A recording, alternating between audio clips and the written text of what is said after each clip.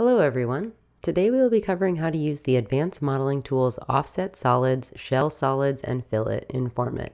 We will begin with a few cubes to demonstrate these actions. In the Advanced Geometry tools, select the Offset Solids tool or type OS.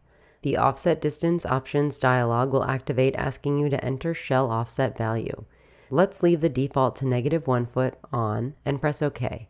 Now a guide has been activated in the upper left-hand corner of the canvas directing you to select the solid or solids to offset. If we select a cube and press the finish check icon, you will see the solid has been offset by negative 1 foot in all directions. If we follow the same steps and increase by 4 feet, you'll see the cube is now plus 4 foot in all directions. In the Advanced Geometry tools, select the Shell Solids tool or type SH. Let's again use the default negative one foot in the offset distance options dialog.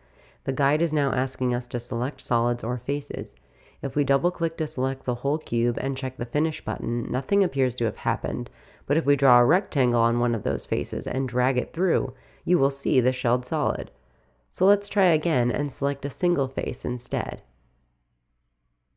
As you can see, the solid has been shelled using the face we selected at an offset of negative one foot.